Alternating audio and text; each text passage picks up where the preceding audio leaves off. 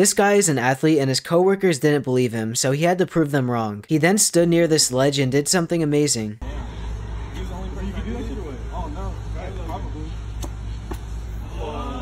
I think they definitely believe him after that.